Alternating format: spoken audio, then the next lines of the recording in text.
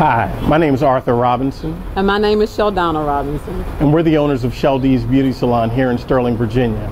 And after 25 years in business here, we just want you to know that it's been our pleasure to serve you. We want everyone to know what we're doing to keep everyone safe at this trying time. We are cleaning constantly. We are wiping everything down. We are requiring everyone to be socially distant.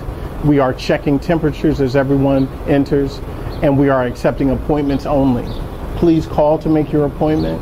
Please don't bring anyone with you just for safety.